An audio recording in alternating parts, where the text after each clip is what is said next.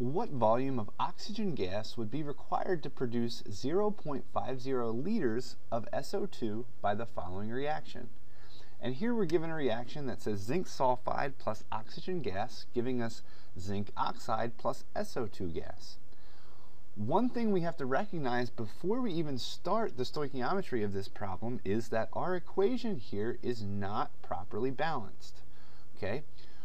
So if you look at this, we have two oxygen atoms on the left and we have three over on the right.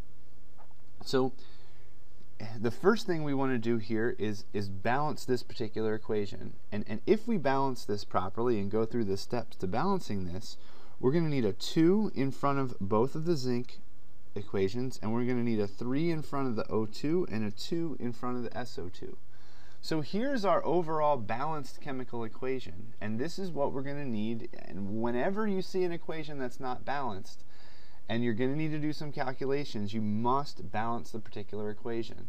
Once our equation's balanced, we can use Avogadro's law to look at this. And remember, Avogadro's law says V1 over N1 is equal to V2 over N2. Okay? Initially, we have 0.50 liters of SO2. And if we look at our balanced chemical equation here, we have 2 moles of SO2. So this is going to be 2 moles, and, and that number 2 is going to be an exact number, so it's 2.000000. Okay, that's going to equal our second volume, which is what we're solving for, V2 of oxygen gas. So here we have oxygen gas right here, which is going to need 3 moles as its coefficient. Okay, we go through here and we solve for V2. So V2 times 2 moles is going to equal 0.50 liters times 3 moles.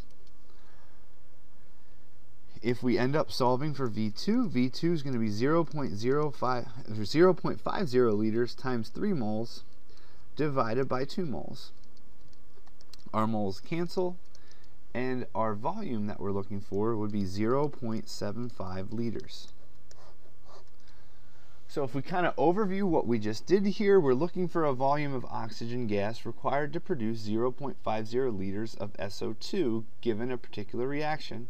First we balance that reaction and after that it becomes a direct application of Avogadro's law. We go through and in this case we solve for V2 and we get 0.75 liters. So remember, anytime you're given an equation, you have to make sure that that equation is properly balanced. Because if we don't balance this equation properly, we will not get the correct answer.